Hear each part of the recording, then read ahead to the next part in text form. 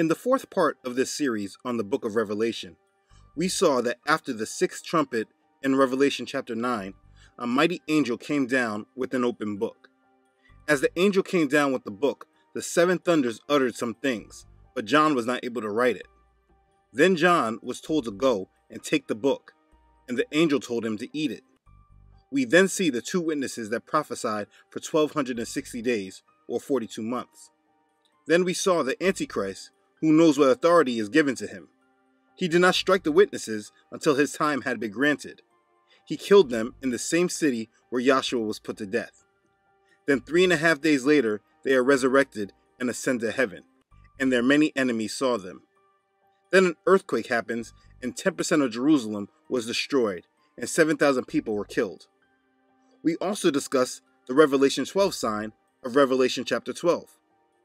As we continue reading and get into the next chapter, John tells us about the Antichrist, the false prophet, and the mark of the beast. These are subjects that need to be discussed in isolation because of the many points that bring confusion with the masses. There have been many that comment on my videos that the Antichrist is not a specific person, but just a person that denies Yahshua as the Messiah. 1 John chapter 2, verse 22 says, Who is a liar, but he who denies that Yahshua is the Messiah? He is Antichrist, who denies the Father and the Son. 1 John chapter 4, verse 3 says, And every spirit that does not confess that Yahshua, the Messiah, has come in the flesh is not of Elohim. And this is the spirit of the Antichrist, which you have heard was coming and is now already in the world. John, who is also the writer of Revelation, speaks about the Antichrist in his letters, but he is not speaking of the coming world leader. He is talking about the spirit of the Antichrist, a spirit that we see many are possessed with today. And from those scriptures, it seems that so many just stay with that understanding because those scriptures are the only ones that say Antichrist. And I get it. That's understandable. The figure that we call the Antichrist is not a title that is given to him through scripture, but one that has been placed upon him.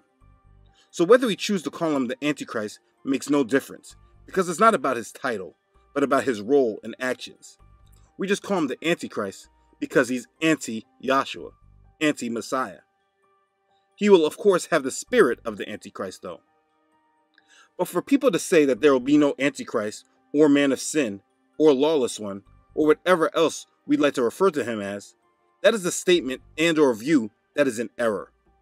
His role and what he does is spoken about many times in different books of the Bible.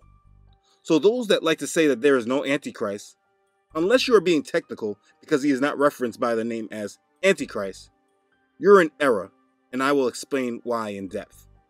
Let's discuss this so that there can be a strong grasp of understanding for these end times. Let's begin. We start in Revelation chapter 13. It says, Then I stood on the sand of the sea, and I saw a beast rising up out of the sea, having seven heads and ten horns, and on his horns ten crowns, and on his heads a blasphemous name. Now the beast which I saw was like a leopard. His feet were like the feet of a bear, and his mouth like the mouth of a lion. The dragon gave him his power, his throne, and great authority. And I saw one of his heads as if it had been mortally wounded, and his deadly wound was healed. And all the world marveled and followed the beast. So they worshipped the dragon who gave authority to the beast, and they worshipped the beast, saying, Who is like the beast? Who is able to make war with him? And he was given a mouth, speaking great things and blasphemies. And he was given authority to continue for 42 months. Then he opened his mouth in blasphemy against Elohim, to blaspheme his name, his tabernacle, and those who dwell in heaven. It was granted to him to make war with the saints, and to overcome them. And authority was given over every tribe, tongue, and nation. All who dwell on the earth will worship him whose names have not been written in the book of life of the Lamb slain from the foundation of the world. If anyone has an ear, let him hear. He who leads into captivity shall go into captivity. He who kills with the sword must be killed with the sword. Here is the patience and the faith of the saints.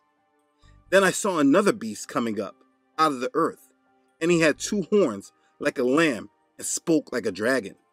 And he exercises all the authority of the first beast in his presence, and causes the earth and those who dwell in it to worship the first beast, whose deadly wound was healed. He performs great signs, so that he even makes fire come down from heaven on the earth in the sight of men. And he deceives those who dwell on the earth by those signs which he was granted to do in the sight of the beast, telling those who dwell on the earth to make an image to the beast who was wounded by the sword and lived. He was granted power to give breath to the image of the beast, that the image of the beast should speak and cause as many as would not worship the image of the beast to be killed. He causes all, both small and great, rich and poor, free and slave, to receive a mark on their right hand or on their foreheads, and that no one may buy or sell except one who has the mark or the name of the beast or the number of his name. Here is wisdom. Let him who has understanding calculate the number of the beast, for it is the number of a man. His number is 666. Revelation chapter 13. So, in the last video, part 4, I explained an important point that we all must have in our awareness when trying to understand the book of Revelation. There are two realms there is the physical realm and a spiritual realm. There is the physical realm, which we all see very clearly, but we cannot see the spiritual realm with our physical eyes. What's important is that we understand that what happens in the physical world is often a result of what is happening in the spiritual realm. A lot of the imagery you are seeing in the book of Revelation is what is happening in the spiritual realm. And that's why the imagery can throw us off and confuse us. And that's why there can be so much debate about these chapters that we are going over. Because it's not clearly stated through events in the physical realm. It leaves it open to interpretation by various readers. I am in no way claiming my understanding to be superior. I am only teaching and displaying what I felt led to say and show. Revelation chapter 13 is a very important chapter and we need to break it down. This chapter is about the Antichrist, the false prophet, and the mark of the beast. In understanding this chapter, it's important to also read Daniel chapter 7 and bring in his dream and the interpretation of it, because much of it correlates with Revelation 13. Verse 1 and 2 of chapter 13 says, Then I stood on the sand of the sea, and I saw a beast rising up out of the sea, having seven heads and ten horns and on his horns ten crowns, and on his heads a blasphemous name. Now the beast which I saw was like a leopard. His feet were like the feet of a bear, and his mouth like the mouth of a lion. The dragon gave him his power, his throne, and great authority. You see, John sees this beast coming up out of the sea. In Daniel chapter 7, Daniel tells of a dream that he had in which he saw the rise and fall of four Gentile world empires. Each of the world empires were characterized as a beast coming from the sea of nations. Daniel chapter 7, verse 3 says, And four great beasts came up from the sea, each different from the other. The sea that the beast is rising out of is the Gentile nations of the world. This is to say that the beast system and the Antichrist will not come from the Israelites. It will come from the Gentiles.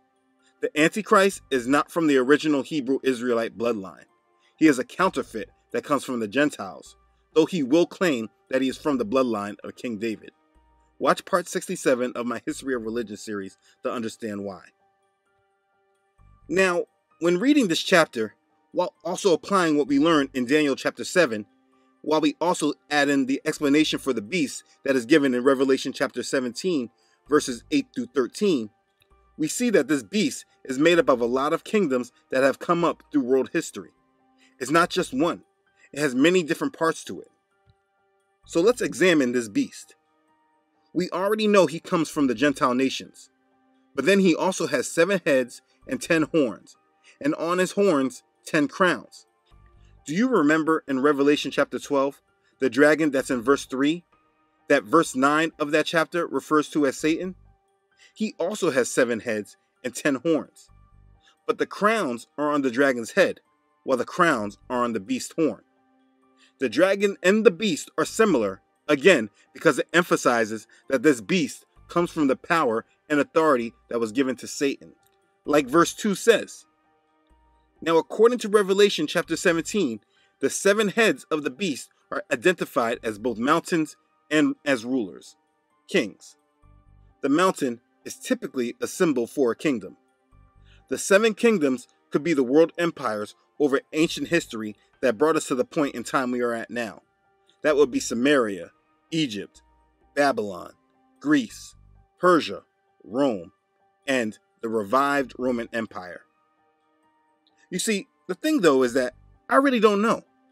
I've studied this extensively and reviewed others' research as well, and this could be correct, or they could be something very different. I can't say for sure. What I do know is that in verse 2, we see the beast was like a leopard, his feet were like the feet of a bear, and his mouth was like the mouth of a lion, which aligns with the first three beasts of Daniel's vision in Daniel chapter 7, verses 4 through 6. This beast was complex, but in this beginning description, we are clearly talking about a world empire, a political system. Like I said in Daniel chapter 7, verses 4 through 6, he saw three beasts that were kings that rose up. He then saw a fourth beast that was different than the rest. This is found in verses 7 and 8. It says, After this, I saw in the night visions, and behold, a fourth beast, dreadful and terrible, exceedingly strong. It had huge iron teeth. It was devouring, breaking in pieces, and trampling the residue with its feet. It was different from all the beasts that were before it, and it had ten horns. I was considering the horns, and there was another horn, a little one, coming up among them, before whom three of the first horns were plucked out by the roots. And there, in this horn, were eyes like the eyes of a man, and a mouth speaking pompous words. So we will get to this little horn in a second. I think you can see that that's the Antichrist. But what we're focusing on is that fourth beast that was different from them all. This dream of Daniel was interpreted, and verse 23 and 24 explains the fourth beast. It says, The fourth beast shall be a fourth kingdom on earth, which shall be different from all other kingdoms, and shall devour the whole earth, trample it, and break it in pieces.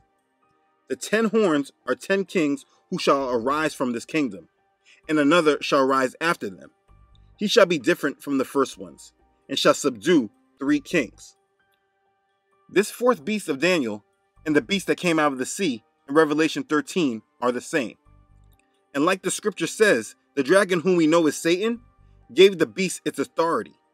As we understand what is going on in world events, we can clearly discern that this beast is the United Nations. There currently is an agenda that is calling for more control and governance by the United Nations. This is what we know to be the United Nations Sustainable Development Goals, also known as Agenda 21. We have seen events like the Global Citizen Festival that shows that there is now an international government that the population are citizens of now. I speak about this in my video about 10 reasons that we're in the end times. But this is what the beast will be. It will be like a revived Roman Empire, which is why we see the Roman symbol of peace on the logo, the olive branch. But it will be like a revived Roman Empire because it will have one ruler, like an emperor, just like Rome did. They allowed the nations they conquered to keep their identity, just as long as they submitted to Rome. The United Nations will not be a conqueror, but it will be the nations of the world that will gladly surrender to one body of governance rather than having many world leaders that can provoke war and conflict. Hydra created a world so chaotic that humanity is finally ready to sacrifice its freedom to gain its security. Once the purification process is complete, Hydra's new world order will arise. The world will denounce the populist ideas of leaders like Donald Trump and unite under a common goal for the world and not place one country above the rest. This is part of the agenda that we can clearly see in effect that's using Donald Trump as a scapegoat that they're using to unite the world. In either case, the United Nations is a part of the complete symbolism of the beast found in Revelation chapter 13, and it's the fourth beast of Daniel 7, both the same. Its authority will be granted by Satan. So, as we continue on in the chapter of Revelation 13, the characteristics now are about a person and not a world empire, as they worship the beast. You do not worship a world empire. But all the people worship the beast, but they also worship Satan. That's according to Revelation 13:4. The dragon is Satan, and we see that all the world worship the dragon who gave authority to the beast, and they worship the beast as well. This verse is explicitly explaining why we are being conditioned to accept satanic doctrine. The world is being prepared to worship the dragon, which is Satan. Verses 3 and 4 says that the world marveled after the beast. And then verse 5 says that he was given a mouth speaking great things and blasphemies, and his authority was given for 42 months. Verse 7 says it was granted for him to make war with the saints. This is a man, like we see in Daniel chapter 7 with the little horn. Verses 24 and 25 explain it as the ten horns are ten kings who shall arise from this kingdom, and another shall rise after them. He shall be different from the first ones, and shall subdue three kings. He shall speak pompous words against the Most High, shall persecute the saints of the Most High, and shall intend to change times and law. Then the saints shall be given into his hand for a time and times and half a time. We see that this little horn is the same as the beast in Revelation chapter 13. Verse 7 and 8 of the chapter says, Authority was given to him over every tribe, tongue, and nation. All who dwell on the earth will worship him, whose names have not been written in the book of life. These verses clearly explain a man of sin that is given authority by Satan for a period of time. Go back in chapter 11 of Revelation. Verse 7 explains that the beast that ascends out of the bottomless pit will make war against the two witnesses and kill them. This is the same beast. So when we see this first beast and combine it with Daniel chapter 7, along with other scriptures in the book of Revelation that also speak of the beast, it becomes a lot clearer of what the beast of Revelation is. We see the world empire and the little horn who is the ruler of it. The United Nations and Antichrist are the first beast of Revelation chapter 13. Continuing in chapter 13, we see another beast that had two horns like a lamb, but spoke like a dragon, meaning he spoke like Satan. He was given all the authority of the Antichrist when he was in his presence. He used the authority to cause the earth to worship the Antichrist. He performed great signs like fire coming down from heaven and used those signs to deceive the world. He caused those who would not worship the beast to be killed. This is who we know to be the false prophet of Revelation. He is given this label in Revelation chapter 20, verse 10, when him and the Antichrist are thrown in the lake of fire. This role is an important one. The Antichrist would not be worshipped without the false prophet. We look so heavy into the Antichrist and who it is, but we don't think of the false prophet, and he is the one that causes the worship of the Antichrist. The false prophet is in relation to the Antichrist, as John the Baptist is in relation to Yahshua. He is paving the way for him. We see this role clearly being carried out by Pope Francis. He has been aggressively working to combine all religions of the world under the doctrine that we all worship the same God. And he is meeting with all the leaders of the many faiths in this world. La mayoría sabemos convivir, nos resulta más fácil y es un mensaje, ¿no? un mensaje de que tenemos el mismo Padre en el cielo, el mismo Padre acá también, Abraham. He even had an unprecedented historic meeting with his contemporary of the Eastern Orthodox Church, the Patriarch Kirill, and made a declaration that would bring unity between the two major churches. This has never been done before. He is actively promoting and setting the stage for the one world religion. Do you understand what the one world religion is? It's what I just described. All the religions believing they are worshiping the same God, but that God is actually the dragon who we know as Satan. And they are led to worship him through worshiping the beast, who is the Antichrist. They are led to worship the beast by being led by the false prophet. You see, the Pope is not the Antichrist. He is not of the bloodline, and he is not being promoted as someone that the whole world will worship. He is promoted as the authority that will co sign the Antichrist as the one who should be worshipped. He is also the facilitator of the mark of the beast, which we must discuss as well. Verse 16 of chapter 13 says, He causes all, both small and great, rich and poor, free and slave, to receive a mark on their right hand or on their foreheads, and that no one may buy or sell except one who has the mark or the name of the beast, or the number of his name. Here is wisdom. Let him who has understanding calculate the number of the beast, for it is the number of a man. His number is 666. Now, we will end on this topic. There is a major belief that the mark of the beast is Sunday law. This doctrine was created by Ellen G. White of the denomination of Seventh day Adventists. This doctrine is spoken of in her book, The Great Controversy, and it is a premise of doctrinal belief of all that are in the denomination of Seventh day Adventists. It seems that everyone that's in this denomination says the same thing, and it's based around the belief that the mark of worshiping the Father is observing the Sabbath, and the mark of following Satan is worshiping on Sunday. This understanding is not a complete application of Scripture, and this view leaves out a lot of other factors. This needs to be spoken of by itself. The thing is that if you follow this channel and review my videos, you will see a consistent theme of groups and denominations forming because of doctrine and traditions created by other individuals. This understanding and doctrine can often go along with their belief, meaning they believe the Bible, but they also follow and align themselves with doctrine and explanations of men. And this is what we find with the belief that the mark of the beast is Sunday law. This belief is easily debunked because it does not apply all the components of the scripture that they're talking about. The belief of the Seventh day Adventists is that the mark is not a physical mark that can be seen, just like the seal of Elohim.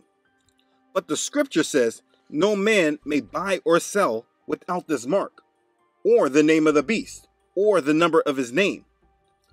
The understanding of the Seventh day Adventists leaves this part of the prophecy out. Their understanding is completely surrounded by the Sabbath those that keep it and those that don't. But keeping Sunday law does not allow someone to buy or sell. If I don't keep Sunday law, how could the false prophet stop me from buying or selling? Everything must fit. The explanation that is given by the Seventh day Adventists makes a lot of sense if they did not leave out important points like this. Being able to buy and sell is a major part of making it in this world. Where would you be without being able to buy or sell anything? Without this ability, there is no way for someone to live, to eat, and to work. So, for the Seventh day Adventists, while I understand that this is what you have been taught since you joined your denomination, you must live your faith through the expectation that all of your doctrine must completely align with Scripture, not just parts of it. Because today, there are great signs that the mark of the beast is extremely possible the way it is written. There is no coincidence when there is technology that actually allows someone the ability to buy or sell while it's actually being implanted and inserted in someone's body. We should strongly be looking at this as the mark of the beast. There is an active campaign promoting an implantable RFID microchip that has many different functions, but one of them is allowing digital commerce transactions to exist. They are implanting the chip in people's hands. And now they are even showing the technology for the same thing to be implanted in our foreheads as well. It's Elon Musk now talking up a brain implant technology that they just put this chip, I guess, into your skull. Uh, and then you just, I don't know what, what good it does, but it's there and then it follows you and tracks you. Then we also see a push to digitize money. Cryptocurrencies are a new currency that have only been around for a decade, but is now being promoted as the future of money and countries are actively working to implement their own cryptocurrencies. Facebook is creating their own cryptocurrency to facilitate global payments, and many of the major businesses in the world are on board with them. There is even a call to digitize the United States dollar so that it could compete with cryptocurrencies. I made a video about Bitcoin and the mark of the beast that may provide you with more understanding on this topic. The point is, never in 2,000 years since this prophecy was given have we seen the ability for this prophecy to literally be carried out and implemented. We can also see that this is a goal of the elite. They want us all microchipped. I cannot say for sure because I obviously am not a psychic and cannot tell the future. But if you see the ability for Bible prophecy to literally be carried out before your eyes, you know that it's no coincidence. The technology and the ability to carry out the mark of the beast is here. Don't hold on to your own understanding based on someone else's writings over 150 years ago that's not applying all the scripture. Look at the evidence before your eyes. The false prophet will cause all to receive this mark. This is the future of this world and is being promoted before our eyes. They show it on the news. Media personalities talk about it. Breakthroughs. Turns out one of the biggest discoveries is actually this tiny. See how small that is? This little chip may be the next big thing, and it sounds like it's right from a sci-fi movie, but people all over the world are implanting these into their wrists. It's in our movies and television. It's everywhere. We are being conditioned to receive it, and they are just waiting for the right conditions to implement it. So, wrapping it all up and putting it all together, we see that Revelation chapter 13 alludes to the beast. The beast is both a complete world empire along with a world ruler.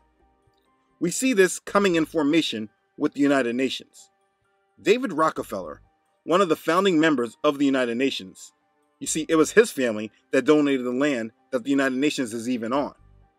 In his memoir, he said, For more than a century, ideological extremists at either end of the political spectrum have seized upon well publicized incidents such as my encounter with Castro to attack the Rockefeller family for the inordinate influence they claim we yield over American political and economic institutions.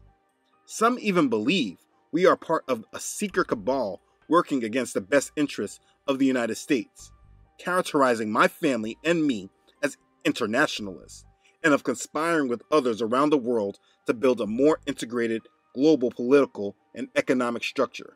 One world, if you will. If that's the charge, I stand guilty, and I'm proud of it.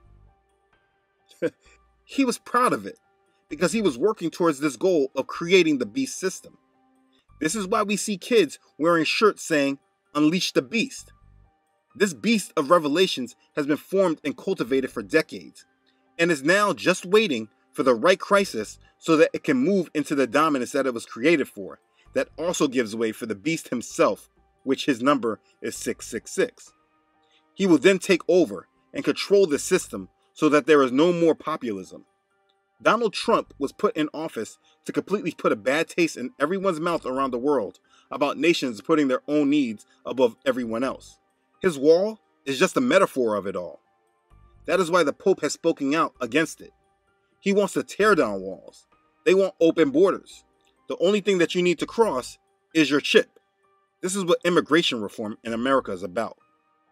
All of this may need to be explained in a separate video, because there is so much more that can be said about it all. And I'm getting off track. The point is that the beast is the United Nations in power along with the Antichrist that will control it. The false prophet is given power in the presence of the beast, and he will promote the worship of the beast, and everyone that is not with the Father will accept the mark of the beast, which right now seems to be a microchip that will work with cryptocurrencies like Bitcoin. This is Revelation chapter 13 in real life for you. Things that seemed crazy 30 years ago are actual things of our current age. This is not science fiction. The stage is completely set for it. What you must do is make sure that you are not aligned with it. Make sure that you are dedicating your life to the Messiah. Make sure that you are following his ways and commands and letting the Holy Spirit take the lead in your life. Read your Bible like your life depends on it, because it actually does. You want to be written in the book of life. I see the Father calling so many to Him, performing miracles in the lives of many, calling people to Him for repentance. I've had family that has had remarkable breakthroughs in the relationship with them in a short period of time because of the urgency of this moment. I've had a brother in law recently get baptized that I thought honestly was on the side of the devil, and now he wants to follow Yahshua. The Father is awesome. The Father is calling us towards repentance. He wants us to be ready for Him and to accept Him and His Son because time is almost up. This video has illustrated to you that Revelation chapter 13 is here. The technology and infrastructure are there. They are only waiting on the right crisis and, of course, the authority of the Father to continue. When the Holy Spirit is taken away, everything changes. If you're watching this, please take this seriously. Repent. If you do not know where to start, please watch some of my videos. Start at part one of the History Religion series and watch it all the way through. It is not acceptable for you to put your spiritual needs as a second, third, or fourth priority. Your spiritual needs must be the priority over everything else. You must submit to the Father. You must repent. You must be born again. You must read your Bible. You must be led by His Holy Spirit. You must be ready. Make sure that you are. Be blessed. Okay, thanks again for watching. If this has blessed you, please do not forget to like it and share it with others. If you have not already done so, do not forget to subscribe to this channel. Elohim willing, I upload every Friday. Don't forget to follow this ministry on Facebook and Instagram. As always, I'd like to thank all who support this ministry. Your contributions truly bless me and make a huge difference for this ministry. I'm truly thankful for your love and support. Thank you for listening to Yahweh's call on your heart. Okay, thanks everyone for watching. I love you all.